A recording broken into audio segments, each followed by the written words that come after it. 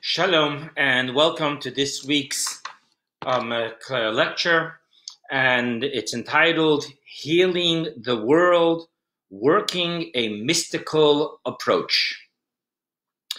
Okay, this is um, uh, obviously we're doing this because of the uh, the pandemic that we're all going through, and um, I'm going to share with you about that in a moment. So, uh, one of the greatest paradigms that any human being can have is the paradigm of I can make a difference. This and this alone is the Torah perspective always. Yes, I am aware of the universal serenity prayer in asking for the serenity for the things that we cannot change and for the wisdom to know which those things are. However, notice that the serenity prayer uses the words change, that which I can change, while I use the words make a difference. Even when I cannot change something, how I respond to it and what I do about it makes a difference. Take, for example, the lady Candace Lightner, who founded MAD, Mothers Against Drunk Driver, Drunken Driver, after her 13 year old daughter, Cari, was killed by a drunk driver. Well, on the one hand, without finding some form of acceptance and serenity in the fact that there is nothing she can do to bring her daughter back to life, Candace would be stuck in painful paralysis, crippling any semblance of life. On the other hand, look at what a difference Candace made in the world with something that she could not change. In Jewish belief, and especially in Jewish mystical belief, there is nothing in our lives that leaves us incapable of making a difference.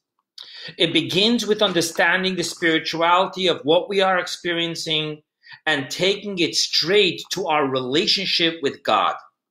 This does not negate physical, practical, and medical responses and precautions. However, this takes us beyond those physical responses, giving us a possibility to make a universal difference through taking spiritual actions as well. And so it is with the present COVID virus, sorry, um, uh, COVID 19 uh, pandemic.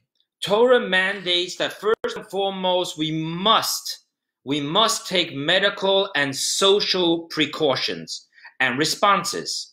However, as a people of faith in God and in God's sovereignty of the world, we mustn't stop there, but rather then go on to take spiritual steps to make a difference as well.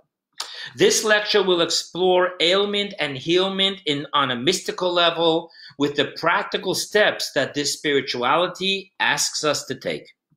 This lecture is based primarily on two mystical teachings of the Rebbe blessed memory delivered on the verse in Jeremiah, Heal me, O Lord, then I shall be healed. Help me, then I shall be helped for you are my praise. One discourse the Rebbe delivered in 1961 and the other in 1964, exploring the mystical dimensions of ailment and healment. Okay, an introduction. Our sages teach us that the Torah is the blueprints that God created and that God used to create the world. Even more so, the Ten Commandments are the life force of the ten utterances in Genesis with which God created the world. Genesis tells us that God used utterances to create the world. And God said, Let there be light. And God said, 10 times it says that. So the 10 commandments are the life force of the 10 utterances with which God created the world. And on top of this, the Torah is called Torat Chaim, the Torah of life, as we say in our evening prayers, based on a verse in Deuteronomy, for they, words of Torah, are our life. Now, the mystical meaning to this is that the Torah is life, it is the vitality of the world. More specifically, studying a specific portion of the Torah brings the specific strengthening of the specific Torah teaching into the world.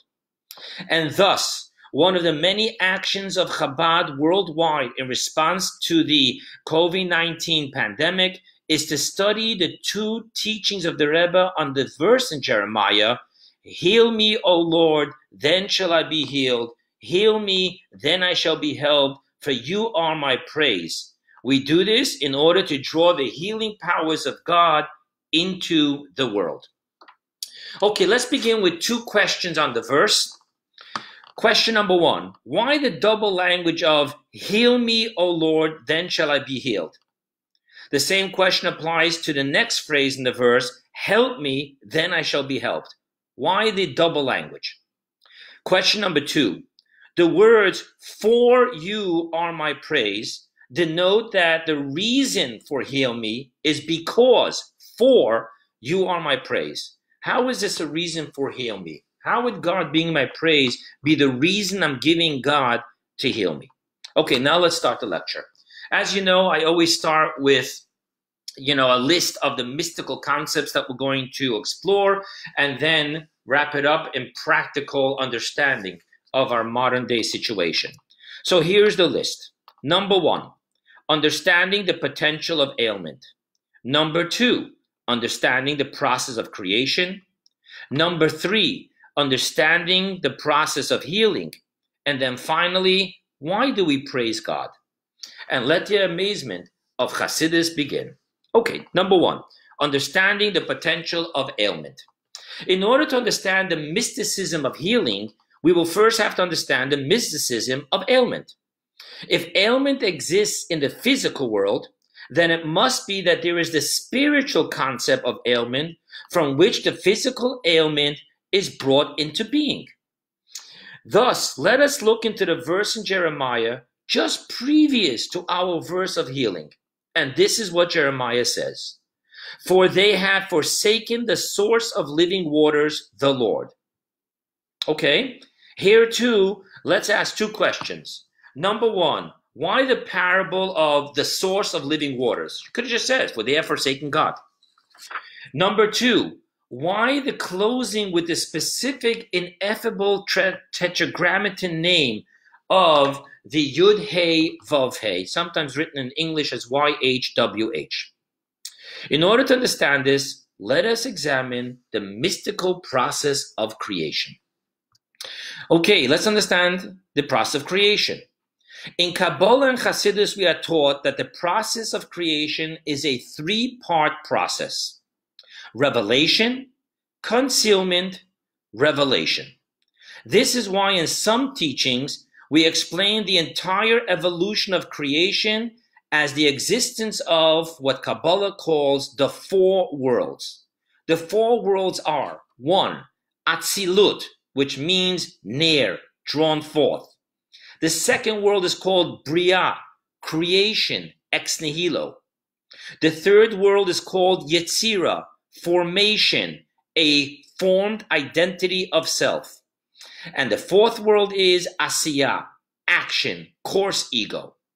Now, in the all encompassing general evolution of creation, Atzilut, the world of absolute divinity, refers to the primordial, the pre-contraction infinite light, which is total revelation. I know I'm sounding Kabbalistic. Don't get lost.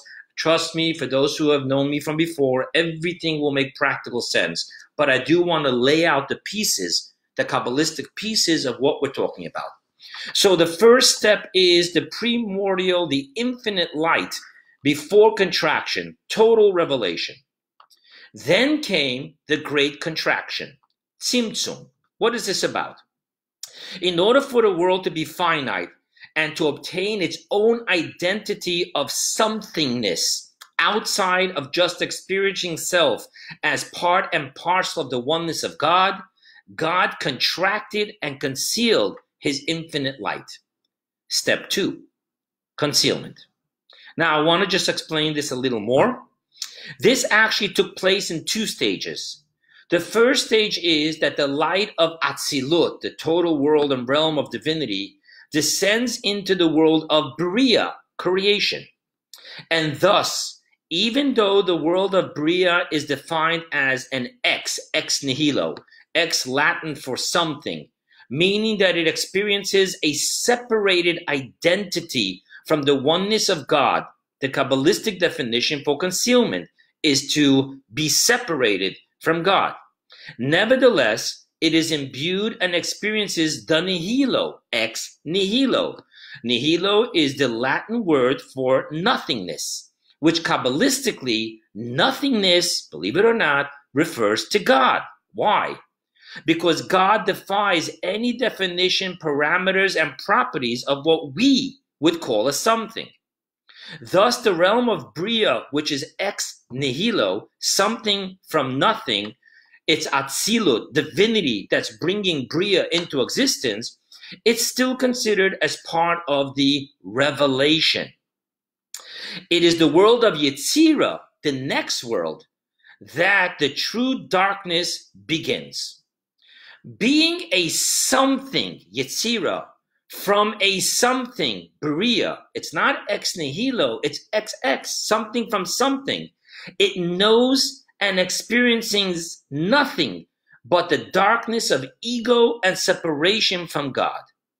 This is the second stage of creation called concealment. So we have step number one, the world of Atzilut, primordial infinite light, that's revelation. Then we have the creation of the world and formation of identity and separation from divinity, the oneness of God, and that is called concealment. Now, here is the big question to be asked. The next realm in the world is our physical world, Asiya. Now, revelation is defined by a total transparency to and a conscious experience of being but of the oneness of God. How can we call our world, the final stage of creation, as revelation? Our world seems to be the ultimate world of narcissism, the ultimate world of self identity, separation from God. How can we say that our world is that of revelation? The answer is that God gave specifically to our physical world his primordial Torah and mitzvot. Therefore, through Torah study and through mitzvot observance, we draw the ultimate revelation of God's sovereignty and God's oneness precisely into our physical world.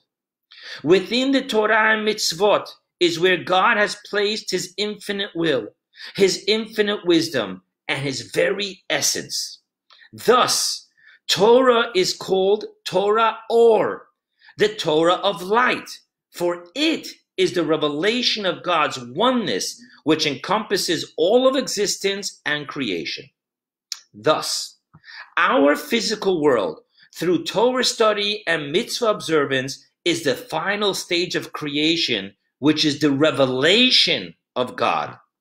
Now, let us return to the verse in Jeremiah in which he describes ailment. For they have forsaken the source of living waters, the Lord. Let's see what this means from what we're understanding. Concealment of God within creation is what gives potential to sickness. Concealment. Our world, absence of Torah study and mitzvah observance, is the ultimate experience of opaque separation and coarse narcissy and self centeredness. Without Torah mitzvot, our world and our experience of self is that of ultimate concealment, and thus the ultimate breeding ground of sickness.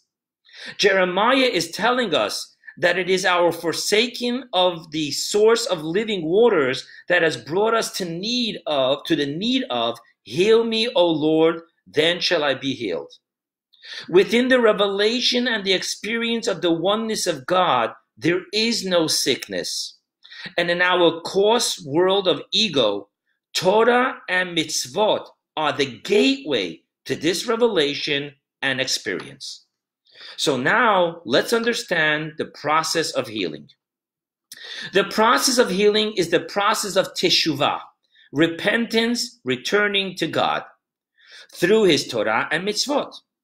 Before we explain how to do teshuvah, I want to explain the process of teshuvah, which is the process of healing.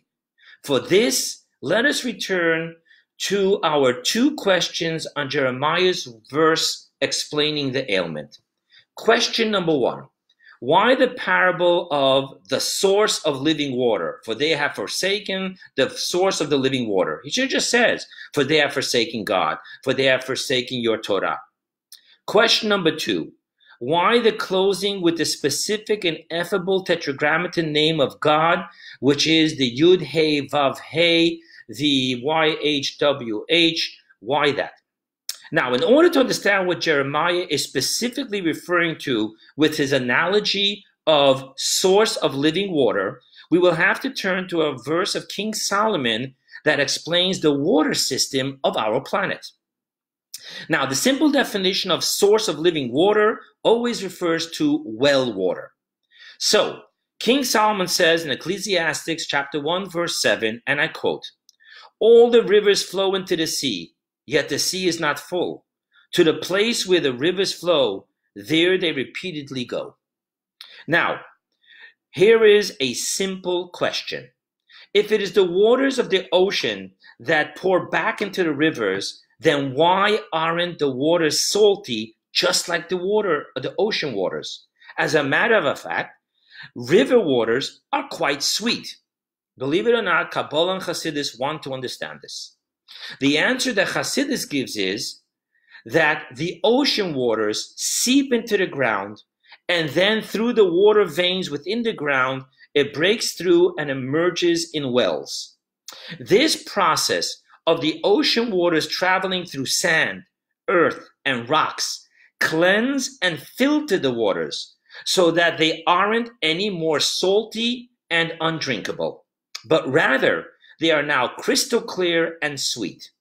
What does this mean to us on a mystical level? If Hasidus and Kabbalah is explaining this, it wants to explain to us something on the mystical level. So here goes. The original revelation of the infinite light represents the ocean waters. And as great and as mighty as it may be, it is salty and undrinkable, so to speak. It is precisely through the descent into our physical world, earth, sand, and rocks, by us doing the physical Torah study and mitzvot, that the infinite light becomes crystal clear, sweet, and drinkable, so to speak. In other words, our experience of the infinite light through our Torah study and mitzvah observance is even a greater experience than the primordial infinite light. This is through Torah study and mitzvot observance. However, now let us see what happens when we have forsaken Torah and mitzvot temporarily and thereafter turn to Shuvah. Nehemiah, Nehemiah in chapter 9, verse 6 states, You alone are the Lord, you made the heavens, the heavens of the heavens, and all their hosts, the earth and all that is upon it, the seas and all that is in them, and you give life to them all. That's a verse in Nehemiah. Now, Kabbalah and Hasidus, in explaining this verse, state the following. The ultimate experience in the world of divinity is the experience and conscientiousness of you alone are God, above and beyond the you made heavens. Higher than knowing that God made heavens and heavens of heavens and earth and gives everything life is to know that you, God, you alone are the Lord. However, even here, the very notion that we feel the need to say are alone in other words, we want to eliminate a thought We're saying, no, no, no, you, Lord, are alone, is already telling us that this is not the highest experience of God. In other words, this is still the experience of the infinite light shining and not the essence of God in his simple beingness. Thus, while through our physical Torah and study and mitzvot observance, we are connecting and experiencing the you are the Lord alone. Nevertheless, it is through teshuvah that we experience the source of living water, the essence of God Himself. Not the infinite light shining, but the source of the infinite light. So while Torah mitzvot bring us the essence, the infinite light shining, but teshuvah takes us a step higher into the source of the living water, the essence of God Himself. Thus, the verse closes with specific ineffable tetragrammaton name of God, the Yud He Vav He. Why? In Genesis, the verse the verses repeatedly use the name Elokim, as in, in the beginning, Elokim created the heavens and the earth. Elokim in Kabbalah is the name of contraction and concealment, which is why it's being used in the process of creation. However, the ineffable tetragrammaton, the name Yud He Vav He, is called the essence name. Now we understand what Jeremiah is telling us. Through Teshuvah, we connect to the source of living water, the essence name, the essence of God Himself. However, how is it that we, especially after the temporary forsaking of the Torah mitzvot, can connect experience, and draw the very essence of God Himself into our lives and into the world, because that's what healing is all about. That's what teshuva is all about. But how? How can we do it? So the answer is that the empowerment for teshuva must first come from above, from God. And only after this can we then go on to do our teshuva below with all our heart, mind, thoughts, speech, and action. Thus, the double language of Jeremiah's verse of healing. Heal me. What that means is, God, empower me from above to do teshuva. Then he goes on to say, O Lord, then shall I be healed. What this means is that once you heal me from above, you empower me to do teshuva, I will be able to do teshuva here below with all our heart, mind, thoughts, speech, and actions. So it all begins with the heal me. You, God, I need your help. I need you to empower me to do what you want me to do. I need you to empower me to turn back to you. And once you empower me, then I will be able to go on and do my part. Let us now explore the last thing the reason for healing that Jeremiah gives. He says, For you are my praise. Now, Chassidus wants to know why is it that in our prayers we are consistently praising God? Of what purpose is there to praise God? Eh, yeah, it's nice, of course, it makes sense, but what purpose? What is the accomplishment of me praising God in my prayers? The answer is that through stating, we draw forth that which lay hidden within. It's the power of the word. Simply speaking, between humans, by calling someone compassionate, we actually draw forth their compassion. And by calling someone angry, mean, etc., the power of the word actually arouses the emotion or trait of the person we are speaking to. Now, on the deeper mystical level, the power of praise is especially effective when speaking of the omnipotent, infinite, abstract, and non relatable qualities of our infinite teacher, God. The reason why we pray God, we praise God, is because through the power of the word of praise, we draw forth that which is hidden beyond the power of revelation. This is the there, I'm sorry, there is the infinite gap between the infinite and the finite and even between the essence and the infinite light. How can we draw forth that which is hidden within He Himself, so to speak? This is the power of the word of praise. Thus, Jeremiah is in asking for the heal me essence power of Teshuvah from above, states that the reason we can do this is because of the power of praise. For you, your essence, O God, are my praise. By praising God, the words of praise, the power that God gave into the word is to draw forth from the other the emotion, the trait, especially that which is so deeply hidden within the other. So too with God. By praising God, by the words of praise, we are drawing forth the essence power of healing, the essence power of God to do teshuva. So, in closing, so now in closing, let's be practical about the infinite powers of God. Now, this is a kind of an oxymoron. Practical about the infinite powers of God. So let's see. In general, when we speak of the supernal, and especially when we start speaking about the infinite, and even more so when we speak of the essence, we get kind of disconnected.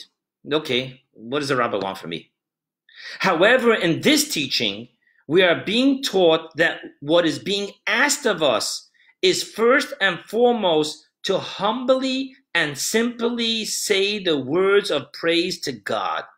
In asking God to give us the power to do practical teshuva, in turning to God, to Torah, to prayer, and to mitzvot, inviting God into our lives. We are being guided to say words of praise and trust of God's healing powers. Now, this isn't hard nor impractical. However, it does demand a simple humility of accepting that we are but fragile, finite beings standing before God, asking of God to help us. So, let's stop for a moment. Let's just turn to God. Speak of God as the compassionate, loving Father who empowers me, regardless of what I have done in my life, to turn to Him, to connect with Him, to draw the essence of God into this world that is struggling with sickness and fear and anxieties. Just by praising God, you, God, are my compassionate, omnipotent power who unconditionally loves me, your creation, all beings. Just this empowers us to be able to bring God's healing powers into our lives and into our worlds. May into our world. May God truly bring this pandemic to an end. May whatever we are to grow from this happen easily and speedily. God bless you all and protect you all, and please stay safe.